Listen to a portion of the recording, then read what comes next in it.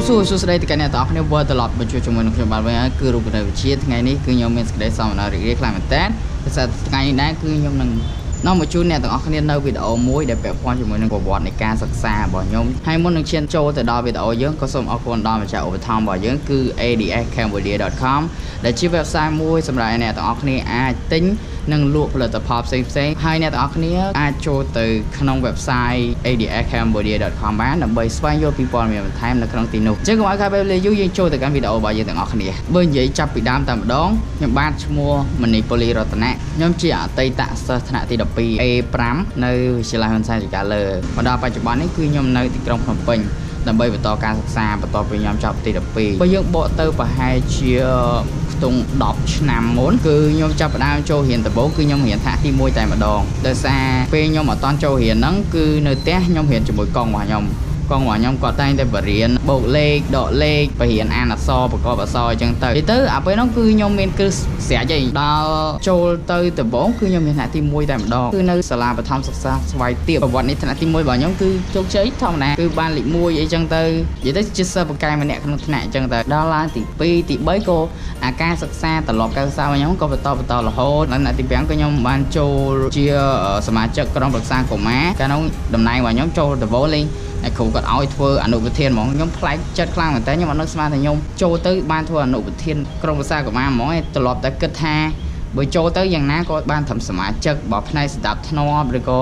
សមាជិកផ្នែកអនាម័យបរិស្ថាននេះដែរតែស្រាប់ចូលទៅបានដល់អនុប្រធានក្រុមប្រឹក្សាកុមារហ្មងដល់ខ្ញុំឡើងថ្នាក់ទី6គឺខ្ញុំឡើងធ្វើប្រធានក្រុមប្រឹក្សាកុមារតែម្ដងគឺខ្ញុំគ្រប់គ្រងសមាជិករបស់ខ្ញុំទាំងប្រហែលអ្នកទៅហើយចំពោះថ្នាក់ទី6គឺការសិក្សាខ្ញុំមានការផ្លាយច្រើនដោយសារខ្ញុំ រៀនជាមួយអ្នកគ្រូគឺអ្នកគ្រូគាត់បយល់បានល្អអ្នកគ្រូបរៀនបានល្អខ្លាំងមែនតើគឺខ្ញុំសូមអរគុណទៅដល់អ្នកគ្រូបន្ទាប់ពី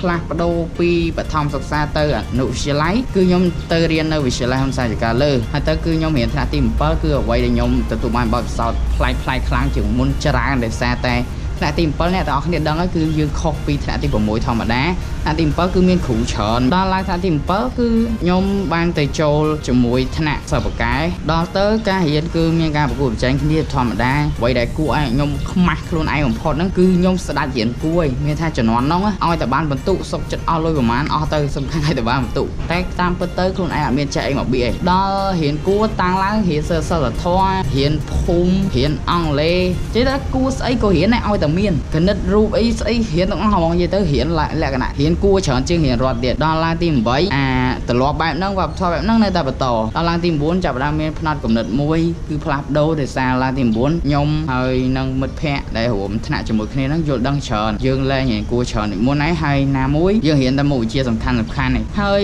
នៅក្នុងព្រឹត្តិការណ៍ការខ្ញុំរៀនថ្នាក់ទី9ហ្នឹងគឺអ្នកទាំងអស់គ្នាប្រហែលជាដឹងហើយគឺខ្ញុំបានចូលរួមប្រឡងសិស្សបកាយដែរប្រឡងសិស្សបកាយគណិតវិទ្យាកាលនោះគឺខ្ញុំស្រឡាញ់មុខវិជ្ជាគណិតវិទ្យាមែនតើប្រឡងសិស្សបកាយហ្នឹងគឺជ្រើសរើសមុខវិជ្ជាគណិតវិទ្យាទៀតតែមកខ្ញុំក៏ចាប់ផ្ដើមមើលសភៅមើលអីតិចតួចដល់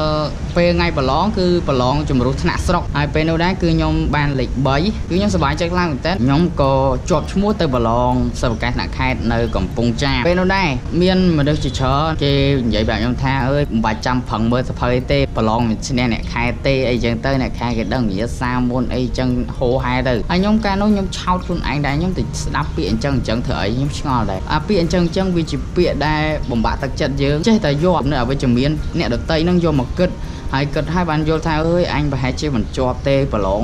សិស្សបកែអ្នកខេត្តអ្នកខេត្តគេរៀនមួយគ្រូគេគ្រូគេអ្នកចាញ់ឯណាយយូរទៅគិតរឿងចឹងចឹងតាមពិតទៅអាពេលខ្ញុំប្រឡងសិស្សបកែទី9ហើយបានខ្ញុំដឹងថាបើអ្នកទាំងអស់គ្នាជាសិស្សបកែមិនថាអ្នកទាំងអស់គ្នារៀននៅណាទេនៅសុកសែនៅទីក្រុងនៅចកានៅស្អីក៏ដោយឲ្យតែអ្នកទាំងអស់គ្នាមានសមត្ថភាពគឺអ្នកទាំងអស់គ្នាខ្លាចជាសិស្សបកែទូទាំងខេត្តឬក៏ទូទាំងប្រទេសហើយអារឿងចាញ់ញាសាចាញ់អីហ្នឹងកុំតែខ្វល់ពេកខ្ញុំប្រឡងសិស្សបកែហាក់ទី2ខ្ញុំធ្លាប់និយាយថាបើអញជាសិស្សបកែមែនណាចាញ់ស្អីក៏អញចេះដែរខ្ញុំនិយាយតែមួយម៉ាត់ហ្នឹងឯងខ្ញុំអត់ខ្វល់ថាគេដឹងញាសាមុនគេដឹងស្អីមុនខ្ញុំអត់ខ្វល់ទេហើយបន្ទាប់មកក៏ខ្ញុំទៅប្រឡងសិស្សបកែថ្នាក់ខេត្តនៅកំពង់ចាមធ្លាក់អ្នកទាំងអស់គ្នាអត់ឲ្យធ្លាក់មិនបើយើងអត់ដែរមើលសភៅផងអ្នកទាំងអស់គ្នាដឹងអីលំហាត់សិស្សបកែវាខុសពីលំហាត់ពពួកគណិតវិទ្យាយើងធម្មតាហើយគណិតវិទ្យាទៀតមិនមែនមុខវិជ្ជាធម្មតាហើយជាលំហាត់សិស្សបកែទៀតបើយើងអត់ដែរមើលសភៅអត់ដែរមានបទពិសោធន៍ទៀតហត់តែសរោពេលអញ្ចឹងលទ្ធផលគឺខ្ញុំធ្លាក់តាំងពីនោះមកខ្ញុំចាប់ដើមនឹកគិតគំនិតមួយថា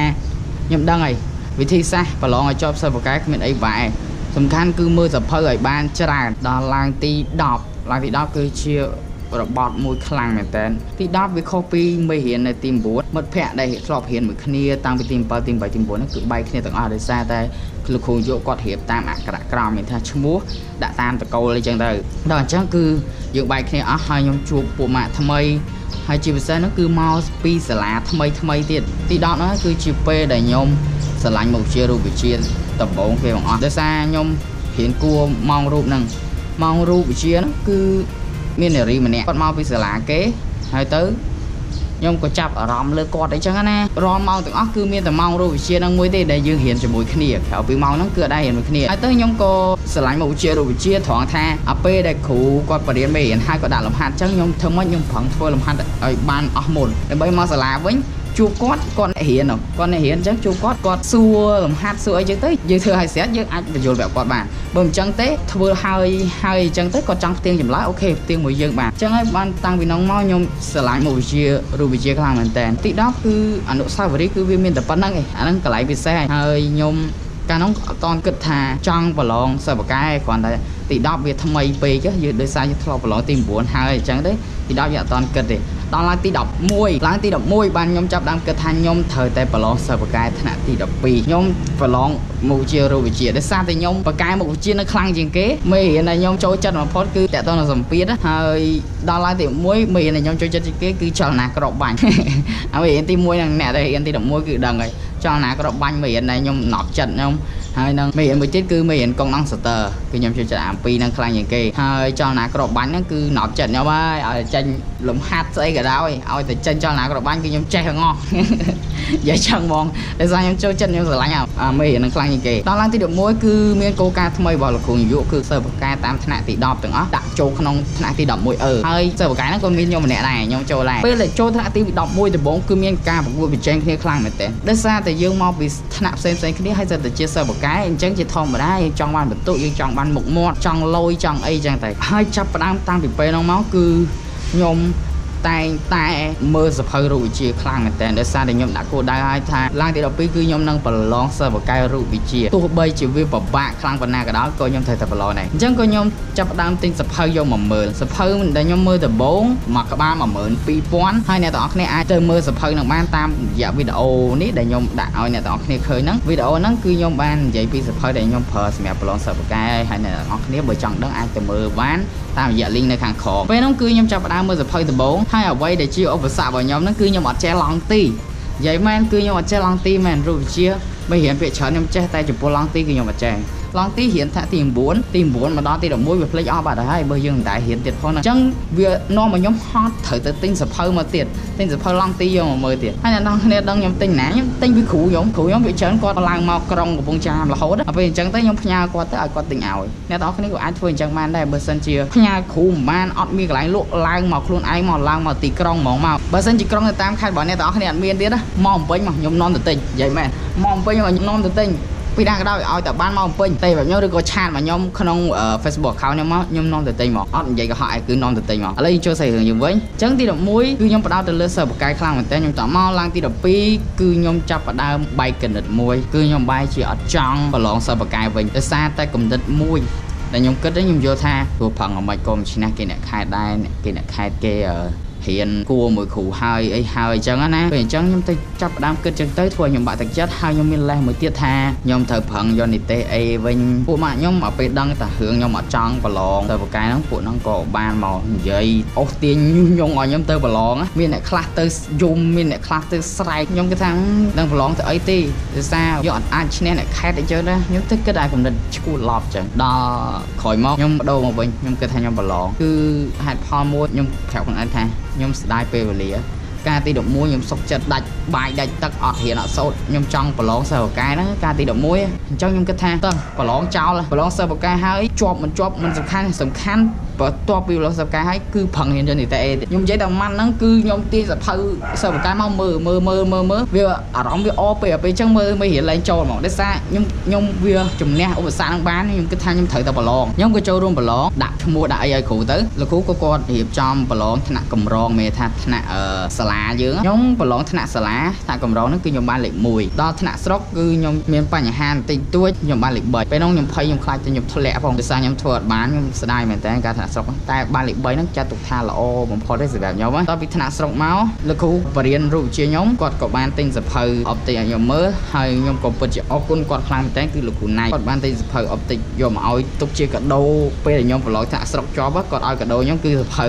អបតិកហ្នឹងហើយហើយខ្ញុំប្រឹងមើលអបតិកហ្នឹងខ្ញុំចេះគួសំខ្ញុំចេះចាក់ផតកញ្ចក់ប៉ោងអីហ្នឹងកញ្ចក់ប្លង់អីឡង់ទីបរិកបរូមអីហ្នឹងខ្ញុំមើលឡើងវិញទៅខ្ញុំចេះមកគួសំតែអត់ចេះ ច្បាស់ហើយដោយសារយើងអត់បានរៀននេះយើងគ្រាន់បានមើលខ្លួនឯងអញ្ចឹងណាហើយនឹងបានធ្វើលំហាត់ផ្សេងផ្សេងច្រើនបន្ទាប់មកគឺមានកំណត់មួយដកជាប់នៅក្នុងដួងចិត្តរបស់ខ្ញុំរហូតហ្នឹងគឺខ្ញុំនិយាយប្រាប់ខ្លួនឯងថាបើសិនជាយើងជាសិស្សបកាយពិតមែនទោះបីជាចេញលំហាត់ធំប៉ុណ្ណាក៏ដោយក៏យើងត្រូវតែធ្វើឲ្យបានពាក្យទូមានមួយនេះគឺខ្ញុំពិតជាស្រឡាញ់មែនទែនហើយខ្ញុំចង់ឲ្យអ្នកទាំងអស់គ្នាយកមកដាក់ជាប់នៅក្នុងខ្លួន ហើយប្រាប់ខ្លួនឯងជារឿយៗថាបើយើងជាសិស្សបកែមែនទោះចេញលំហាត់អីក៏យើងចេះដែរកុំខ្វល់ថាគេរៀននៅក្រុងកុំខ្វល់ថាគេបកែគេអ្នកមានយើងត្រូវតែគិតថាទោះវិញ្ញាសាចេញមកអីក៏ដោយសំខាន់គឺយើងត្រូវធ្វើឲ្យបានធ្វើបានប៉ុណ្ណាយកប៉ុណ្ណឹងអត់ខ្វល់អីច្រើនទេជាប់ធ្លាក់វាជារឿងធម្មតាពេលដែលខ្ញុំឡើងទៅប្រឡងថ្នាក់ខេត្តគឺជាពេលដែលខ្ញុំសប្បាយចិត្តជាងគេបំផុតវិញ្ញាសាទី1គឺប្រឡងពេលព្រឹកហ្នឹងគឺខ្ញុំធ្វើបាន90%ត្រូវ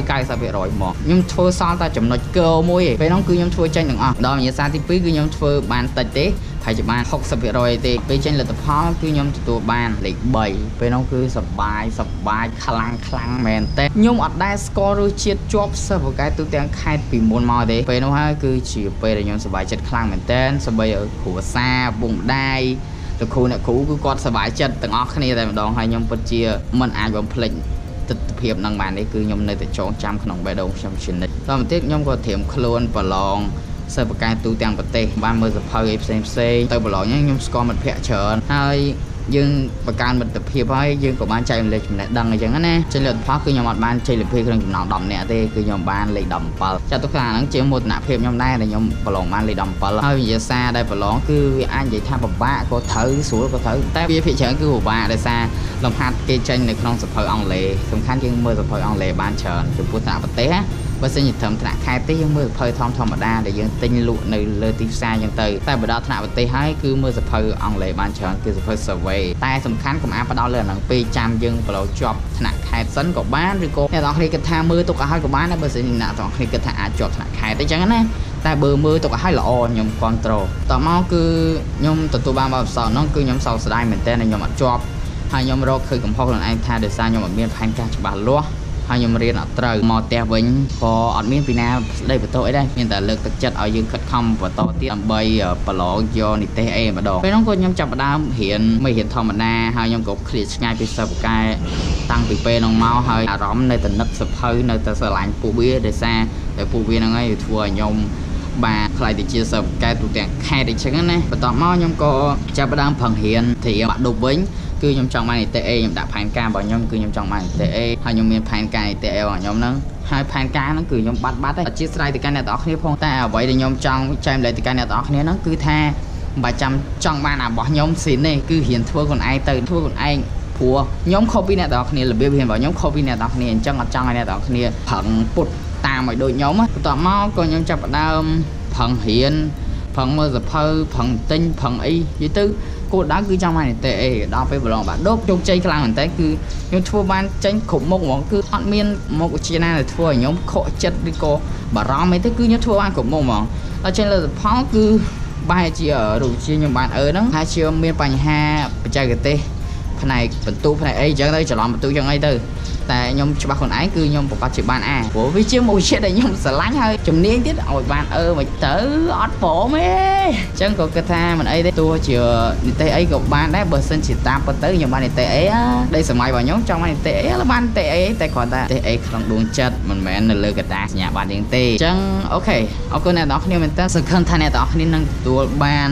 នៅគំនិតល្អល្អចេញពីវីដេអូមួយនេះហើយខ្ញុំចែករំលែកពាក់ព័ន្ធជាមួយនឹងប្រវត្តិនៃការសិក្សារបស់ខ្ញុំនៅថ្ងៃនេះចំពោះវីដេអូបន្ទាប់គឺខ្ញុំនឹងនិយាយអំពីប្រវត្តិនៃការធ្វើវីដេអូរបស់ខ្ញុំម្ដងតាក់ទងនឹងខ្លួនឯងទាំងអស់ហើយអ្នកទាំងអស់គ្នាស្គាល់ដើម្បីឲ្យអ្នកទាំងអស់គ្នាកាន់តែជិតស្និទ្ធជាមួយខ្ញុំទៀតអញ្ចឹងសង្ឃឹមថាអ្នកទាំងអស់គ្នានឹងទទួលបាននៅគំនិតល្អល្អហើយយកវាទៅអនុវត្តនៅក្នុងការសិក្សារបស់អ្នកនរគ្នាទៅខ្ញុំដឹងថាអ្នកនរគ្នាប្រកាសជាចង់ជោគជ័យដូចជាខ្ញុំហើយមែនទេ មែនហើយ OK អញ្ចឹងមុននឹងបញ្ចប់ក៏សូមអរគុណទៅដល់ម្ចាស់ឧបត្ថម្ភរបស់យើងគឺ adicambodia.com គឺជា website ទិញនិងលក់អីវ៉ាន់អនឡាញមួយនៅក្នុងប្រទេសកម្ពុជាយើងអញ្ចឹងអរគុណអ្នកទាំងអស់គ្នាមែនទែនសម្រាប់ការតាមដានទស្សនាហើយយើងនឹងជួបគ្នាវីដេអូក្រោយ bye bye ជម្រាបលាបាទបាទសូមជម្រាបសួរសូមស្វាគមន៍មក page របស់ខ្ញុំផ្ទាល់គឺ page បង្រៀនគណិតវិទ្យាដែលស្ថិតនៅក្នុងបណ្ដាញសង្គម Facebook